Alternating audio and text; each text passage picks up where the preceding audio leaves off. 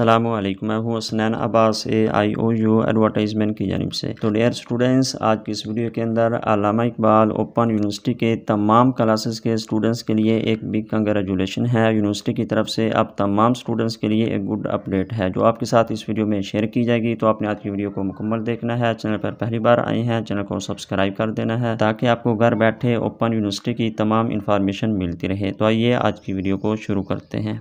तो dear students good update ये है कि कि recently Allama Iqbal open university की जो मीटिंग हुई थी फाइनल इम्तहान के अंदर रीअपेयर पॉलिसी के हवाले से कि यूनिवर्सिटी अपने सिस्टम के अंदर उस पॉलिसी को वापस लेकर आ रही है। तो इस पर यूनिवर्सिटी की मीटिंग हो चुकी थी, मगर इसको यूनिवर्सिटी ने लागू नहीं किया था कि किस सेमेस्टर से ये वाली पॉलिसी यूनिवर्सिटी अपने सिस्टम में लागू करेगी, अपने सिस्टम में इसका इतलाक करेगी। तो अब उसके हवाले से यूनिवर्सिटी का नोटिफिकेशन आ चुका है तो अब वो पॉलिसी यूनिवर्सिटी के सिस्टम में लागू हो चुकी है। तो इसका जो इतलाक है, वो सेमेस्टर बाहर दो के रिज़ल्ट से जारी होगा कि अब आप लोगों के जो फाइनल इम्तहान होंगे सेमस्टर बहार 2023 के तो इस सेमस्टर से ये पॉलिसी लागू होगी कि अगर आप फाइनल इम्तहान के अंदर फेल हो जाते हैं पासिंग मार्क्स हासिल नहीं कर पाते या फिर इम्तहान नहीं देते पेपर को मिस कर देते हैं तो इन दोनों सूरतों में आपको दो मजीद चांस दिए जाएँगे सेमस्टर बहार दो से। तो इस तरह इस पॉलिसी का जो इतलाक है सेमस्टर बहार दो के रिज़ल्ट से होगा सेमस्टर बहार दो के नतज से होगा। बाकी रीअपेयर सब्जेक्ट की जो फ़ीस है, वो पहले की तरह